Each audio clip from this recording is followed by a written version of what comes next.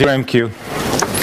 Uh, my name's Pieter Hintjens. I'd like to start by thanking uh, the FOSDEM team for their organization. This is an amazing event. Uh, when I started programming open source in like 1990 or something, we were marginal. And today we're mainstream, and events like this, you know, bring us together and to exchange ideas. It's really fantastic.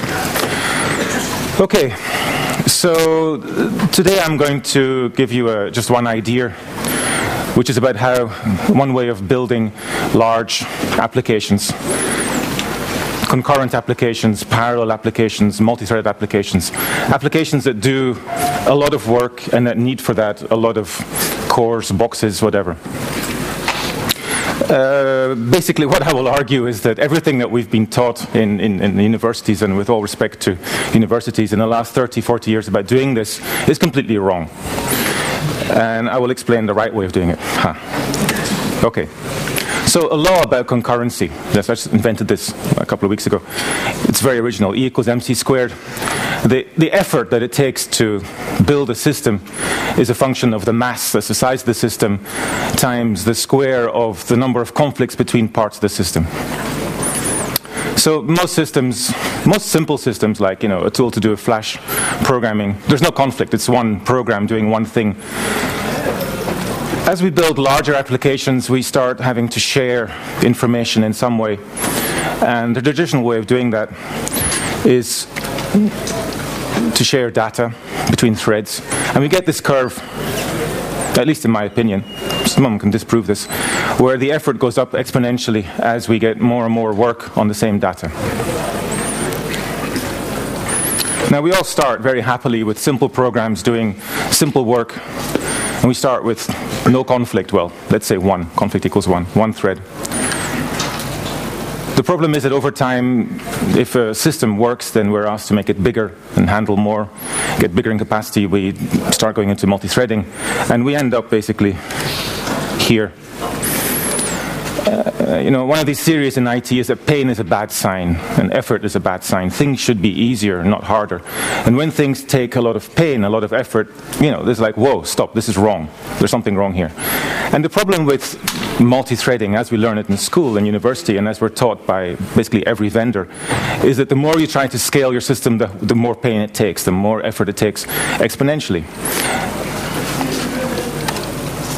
The reason for this, in my opinion, is that traditional multi-threading concurrency is based on this theory that there's a global market for 5,000 computers. And you know, we take the computer as a very big, serious thing, and then we, we, then we multitask around that thing, and we try to share the data that the computer represents. So it's this notion that your data structure is central and your threads have to access that somehow. And that, that's concurrency. This is what I was taught at university. Okay, that was a long time ago. But it's still what you'll get when you buy a tool from Intel or when you look at how to program concurrency in practically any modern language. So what you know, what we've been taught, is that concurrency is data shared between threads.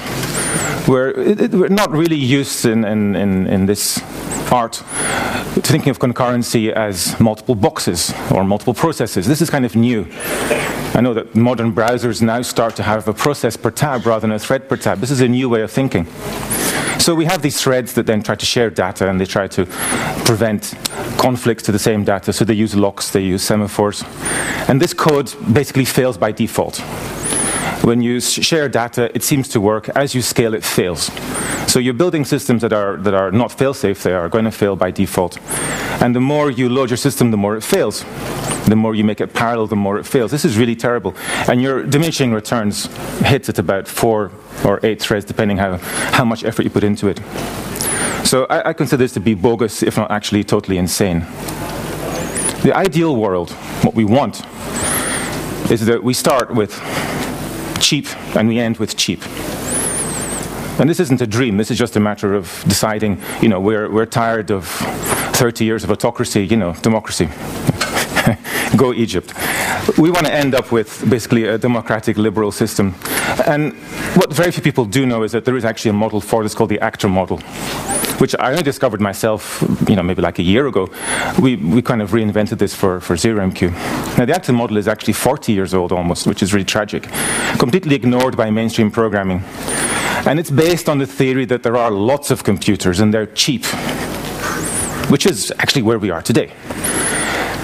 The key thing about it is that there are thousands and thousands of computers, they're very cheap, and they're connected by a very fast, very efficient, and cheap communications infrastructure. Think about that for a second. If you can get this, then your, your conflict is one, no conflict. You have one thread at any point accessing one piece of data. There are no locks. The only modern language of any size and import that does this is Erlang. And Erlang is weird. and, you know, it's a good language for doing certain things, but having to learn a weird language to do basically mainstream work is, is not good either. So the basic, I mean, the actor model is really quite simple. Think of boxes sending messages to each other. You know, it's a, it's a mobile phone sending messages to other mobile phones via whatever. This is an actor model, basically. And this, this model is based originally on the physical world, where there are lots of things that are all independent. And it does match the way that, you know, IT is going, which is hundreds of billions of computers connected in, in, in, weird ways. And if you can manage those connections, you can build applications that distribute over hundreds, thousands, tens of thousands of, of computers. So what are the ingredients for a successful you know, concurrent architecture. You need lots of cheap boxes. Well, we have this today. Boxes are really cheap. You can get threads, you can get processes, you can get cores, you can get Amazon. It, boxes are very, very cheap. There's no longer the requirement to share a box. This is, this is old we have, the, we have tools to build contractual APIs. Now, you know, when you start talking between boxes, you want some formality about what you're sending. You can't just send random data the level of, of, formality depends on how important your system is. You can make it quite ad hoc or very, very formalized with parsing of messages and schemas that can generate parsers and get very sophisticated. We have this. We have tools to make any level of meta that we need. And we need a high performance network. And it's really shocking, but no one's ever made this before. It's really weird.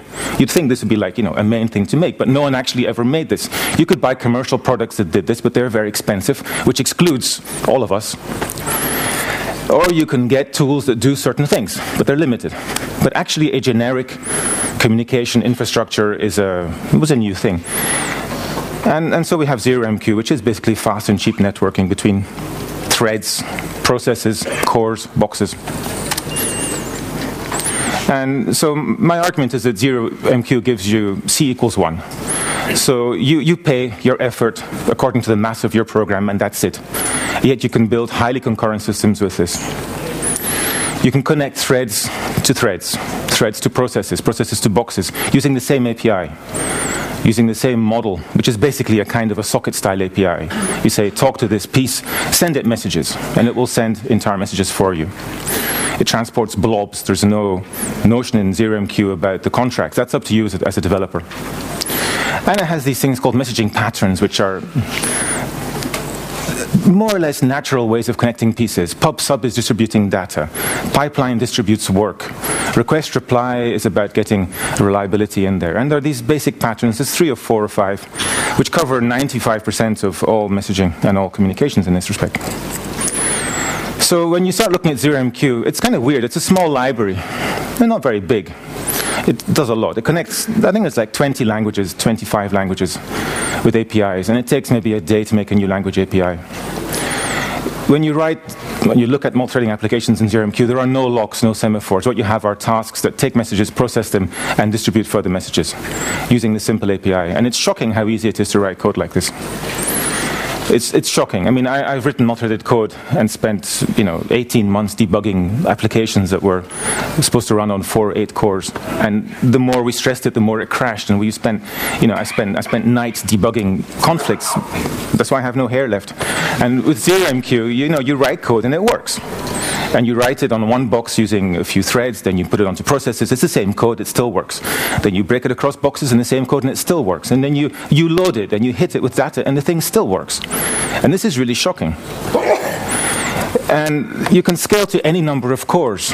You know, we're, we're building this, you know, the kind of thing that we do with ZeroMQ is build stock exchanges, where you have tens of thousands of cores, and you're processing tens of millions of messages per second. Uh, this is unimaginable in any other in any other way. And yet, the cost of building these systems is not hundreds of millions of dollars. It's it's it's you know single figures of millions of dollars. Thank you. So this idea I'm going to give you today is very simple. Concurrent systems, parallel systems, are a very big part of our future in IT. This is, you want to exploit these cores. You cannot, except if in some niche cases, keep software running on one core. Software is distributed, the world is distributed, and as programmers, we need tools to make distribution, distribution work. Those tools didn't exist until a few years ago. ZeroMQ is one of the best, obviously, because you know my, my, my community made it. It's GPL, open source. It's been in development for about three or four years. It's based on our experience making communication software for the financial industry, where they have this problem. Uh, but really, we wanted to make this an open source tool. It's a successful community 70 people on IRC at any particular time, active mailing list, many contributors, which is really nice. APIs in every possible language, it runs in every possible system. Um, about iMatix, we've been doing free software for about 20 years, I guess. And you know, we do protocols, communities. It's what really I like doing. We turned ZeroMQ over to the community last year and said, look, you know, everyone owns this. We're not going to take control of it. If uh, if I die or if my company's bought, it won't affect the software. It's owned by its community, which is a very important step. The LGPL, like I said, and and we, we make our money from support, which is quite a nice business model. So we have, that was a quick talk, right? And we have five minutes for questions if you have questions. Gentleman in red. Yeah. Thank you.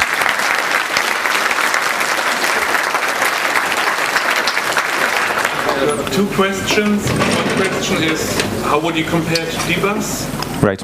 Um, DBus is probably slower, I guess. Um, and the other one is, uh, how about processing images? For example, you have multiple cores processing right. one image. And okay, we'll go quickly. So first of all, ZeroMQ versus DBus. Second question, how do you distribute work, for example, image processing? So DBus is a product which does a certain thing. It connects processes and threads in one box. Now, you'll see much overlap between ZeroMQ and other messaging systems. There's not a new concept to connect pieces. What ZeroMQ is, where it's special is its, its genericity.